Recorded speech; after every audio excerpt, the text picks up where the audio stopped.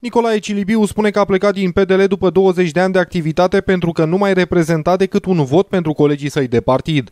În ceea ce privește documentele de care vorbiți, legea își va spune cuvântul. Dacă consideră uh, legea că uh, nu trebuie să am postul de consilier județean, un post pentru care am muncit 20 de ani și pe care, pentru care i-am făcut și pe alții mari, deputați, senatori și ce am mai făcut, uh, nu e nicio problemă. Eu voi rămâne aici alături de colegii din PSD. Gheorghe Neață face glume pe tema trecerii sale de la PPD la PSD. Sunt consilier PSD. Vă simțiți mai bine așa, mai roșu? Nu mă simt mai bine, mai roșu. La roșu am o mică iritație la față. De, de acolo este, nu, da. Veți colabora în continuare cu domnul Filip? Ce... În continuare vom colabora toți. Noi suntem uh, oameni de nădejde ai județului Gorj. Copreședintele acele Gorj, Dan Vâlceanu, a explicat de ce nu a ridicat problema trecerii consilierilor la PSD.